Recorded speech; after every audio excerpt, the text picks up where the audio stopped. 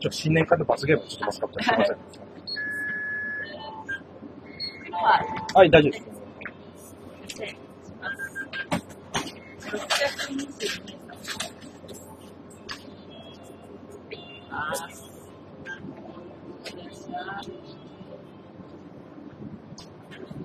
いいんですよ。とりあえずね、こういう時は罰ゲームって言うとね、店員さんもね、納得しててくれるんですよ。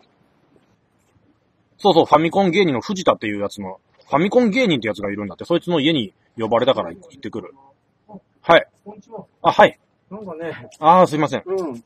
あ、今ちょっと自分自分向けてニコニコ生放送、あはい、やってましたよ。ほんとちょっと身分証明なんか持ってあ、ないんですよ。僕財布持ってないんですよ。なんかね、はい。変な通報が入ったって言うんだわ。ああ、よく虚偽通報でやってるやついるんですよ、こうやって。虚偽通報で、はい。あーまあでももう迷惑かかるんで終わりますよ。あ、ほんとはいあちょっと、危ないもんってのがちょっと。ああ、いいですよ。何も持ってないですよ。はい。なんかね、通報が入ったんだよ。あはい。どうぞどうぞ。コンビニ行った？店、入った？はあはい、罰ゲーム。だからだな。はいあーコンビニにほら、覆面なんかして入るとさ、い。はい。やっぱり心配するだよ。これちょっといいか？あ、どうぞどうぞ。ちょ、一回じゃあちょっとこれ危ないから、あ、あ、置いてもらって。はい。ちょっとここに、はい。上、上、こっち行ってもらっていい？はい。ごめんな。うん。罰ゲーム？はい、なんか、なんだはい、あの、さっき、あそこいたよね。あ、そう、駅前でやっても終わろうとしてたんですあ、はい。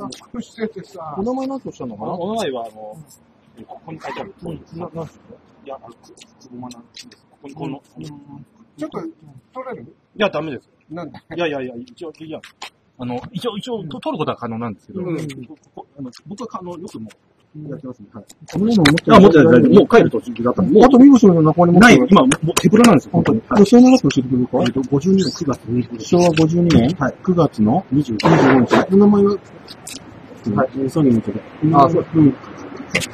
久保田学さん？どんな字書くの？えっと、久しいに田んぼの方に、あ久しいに、あの、保健所の方に、うん。田んぼの田各地の書いてある。うん。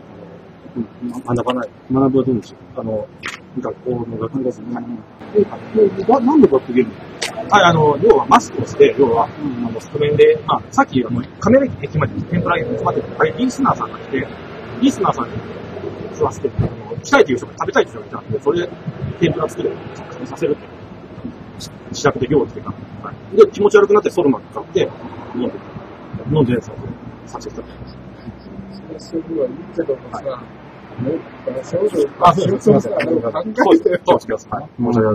あなた逆の立場だったそうら、あの嫌な気分になあるだろ。一応店員さんに、はい、そうです。いや、言ったってさ、はい言われた方だっていい気持ちはしないよ。そうです。はい。うんすいません。夜寝る人がいるのに今ここ騒ぎするのって迷惑でしょはい。そのことを考えなきゃまず、やる前に、はい。ね、それによってどんなことになっちゃうかっていう、はい。考えた方がいいっすよ。そうですだって若いうちに、いい大人なんだからさ、そうです2歳、3歳の子供じゃないんだからはい。うん店員さんに何か言ったの？あ、店員さんに、あの、これ罰ゲームですって言って、最初店員さん笑って、あ、なるほど、あ、なるほどね。罰ゲームです。はい。で、まあ、それが通用したんで、まあ、なんか、それで何か言ったのかな？なんかいや、何も言ってないですよ。はい。それ罰ゲームです。あ、ただ、すみません、これ罰ゲームですよ、って苦笑いして言ったら、あ、なるほど、そう、わかりました。それでよかったです。まあ、確かにこの覆面してやってるのは罰ゲームだから。もうこれで、仕事は、仕事は、あの、あの、無職です。はい。あの、刑事さん。あれあれじゃないですか。なんで刑事さんがあ、すみません。ああの、何、亀焼き北口で注意されたでしょ？はい。ねえ、はいダメだよ、こんなところでやっちゃ。すみませんでした。一人でやったの？はい、一人です。とりあえず、もうご時世がどうしてなんだから、はい今コンビニ強盗とかそういうので、みんなピリピリしてるんだから、はいこんなところでやらないの。すみません。今これは、あ、もう、もう全然、多分切れてる。多分、切れてると思います。だって今自分も素顔、切れてない。切ってるよ、これ。切れてないじゃあ、人生だけ取って。ごご自宅どちらですか？あ、もうこれ、これ、これあ、そっちなのとりあえず、切ってよ。あ、はい。もうこれで、ついてない。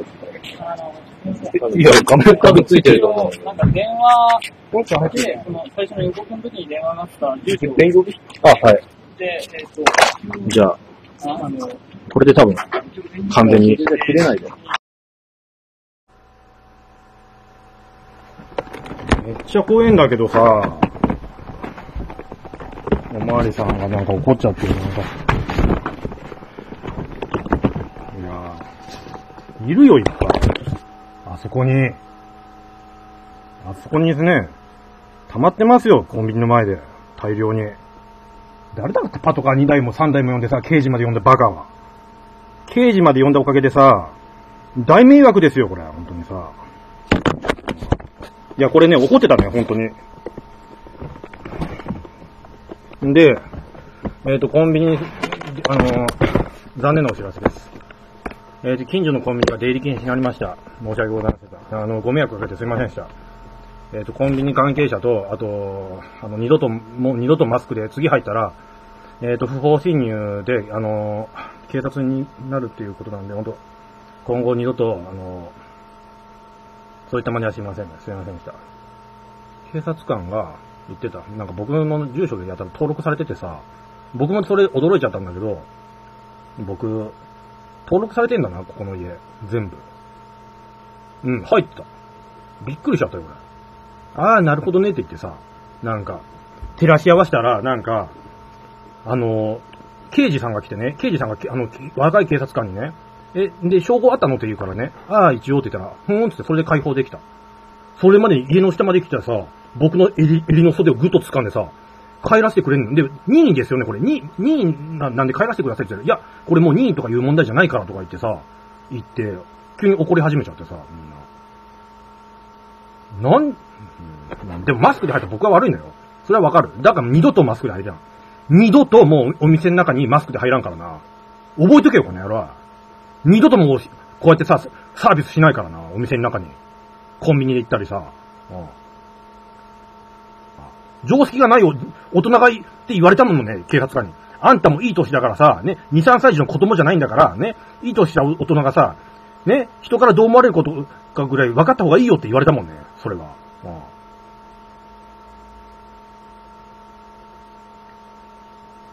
説教されてさ、出入り禁止になって、近所の人に見られて、警察官も帰らせてくれねえしさ、全然。